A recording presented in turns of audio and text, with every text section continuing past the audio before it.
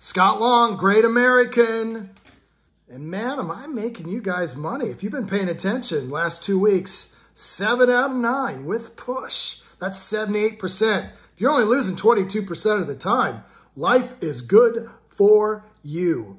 My best bet this week has to do with Purdue last week. Great win. Coach Walters faces his former boss, Bielema. He knew the system. Hudson Card exploited a bad Illinois pass defense. They won easily. This week they go on the road. First big game as coach in the Big Ten on the road. You go to Kinnick and you're only a two-point dog? Come on. Hawkeyes, best defense against the pass probably in America. Love that matchup. Take the Hawkeyes. Last week, my best bet was Oregon State on a Friday night. I got another Friday night game. Hurry up and get on this one right now. Illinois, I've told you they're trash. They're playing Nebraska. Not great, but getting better. Coach Rhule making some uh, changes. And Nebraska loves to lose by three points or less. It's three and a half they're getting. Go with the Huskers as a dog.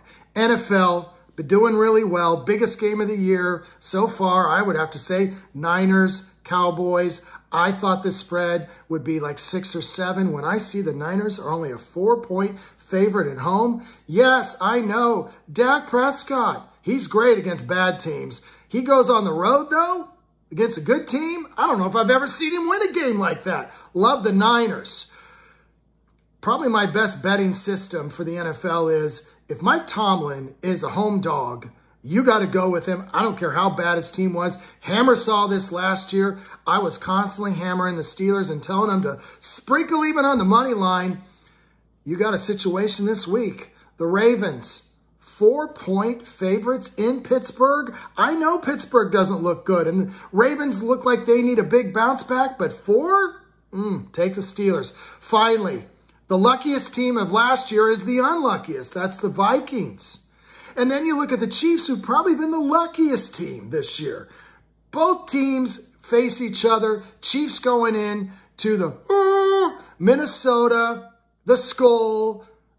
Vikings have to win this game or at least keep it close. They're getting four as a home dog.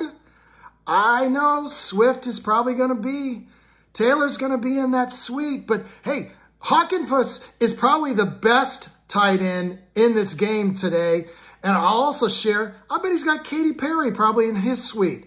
You got to fight fire with fire. Go with the Vikings. Let's go three and two. Hey, what do we say? Four and one or five and oh? Let's keep this train running.